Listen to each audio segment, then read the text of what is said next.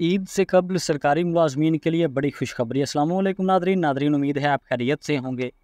Nadreen ग्रामीण सरकारी मुलाजमीन के लिए बड़ी खुशखबरी आ गई है, जिसकी तफसील कुछ यूँ है कि यूटिलिटी स्टोर्स के मुलाजमीन को एक बुनियादी तनख्वाह के बराबर एजाजिया देने का फैसला कर लिया गया है। मुस्तकिल और कंट्रैक्ट मुलाजमीन को एक बुनियादी तनख्वाह के बराबर एजाजिया मिलेगा। तफसीत के मुताबिक यूटिलिटी स्टोर्स के मुलाजमीन को एजाजिया देने का फ़ैसला किया गया है। अजाजिया रमज़ान पैकेज पर अमल दरामद के लिए इजाफी ड्यूटीज़ करने पर दिया जाएगा।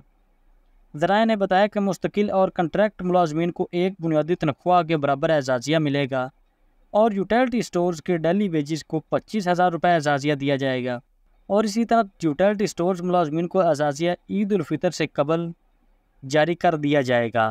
एजाजिया के हसूल के लिए माह रमज़ान में कम अज़ कम अस्सी फ़ीसद हाज़िरी ज़रूरी है। तो नादरीन ग्रामी इसके साथ ही आज की दूसरी बड़ी खबर यह है कि ईद पर कितनी छुट्टियाँ होंगी, हुकूमत की जानब से ऐलान कर दिया गया है। तफसीत के मुताबिक पाकिस्तान समेत दुनिया भर में आइंदा हफ़्ते ईद उलफ़ितर का त्यौहार जोश व जज्बे से मनाया जाएगा। वफाकी हुकूमत ने ईद की छुट्टियों का ऐलान कर दिया है। ए आर वाई न्यूज़ के मुताबिक वफाकी हुकूमत ने आइंदा हफ़्ते ईद उलफ़ितर की छुट्टियों का ऐलान कर दिया है। और इस हवाले से काबीना डिवीज़न की जानब से ईद उलफ़ितर की तातीलत का नोटिफिकेशन भी जारी कर दिया गया है।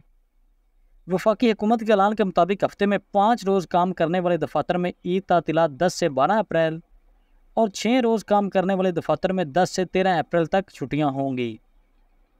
तो नादरीन ग्रामी वादे रहे कि महकमा मौसमियात ने साइंसी बुनियादों पर रवा साल पाकिस्तान में माह रमज़ान अल मुबारक उनतीस रोज़ का होने और ईद उलफ़ितर बुध 10 अप्रैल के होने का अमकान ज़ाहिर किया है। मरकज़ी रवायत हलाल कमेटी ने भी ईद का चाँद देखने के लिए मंगल 9 अप्रैल को इजलास तलब कर लिया है। ये इजलास वजारत मजहबी अमूर इस्लामाबाद में होगा और चेयरमैन रवैत हलाल कमेटी मौलाना अब्दुल खबीर आज़ाद इजलास की सदारत करेंगे। इजलास में कमेटी मम्बरान महकमा मौसमियात स्पार्को साइंस टेक्नोलॉजी काम शरीक होंगे, जबकि जोनल रवैत हलाल कमेटी के इजलास मुकर मकाम पर होंगे।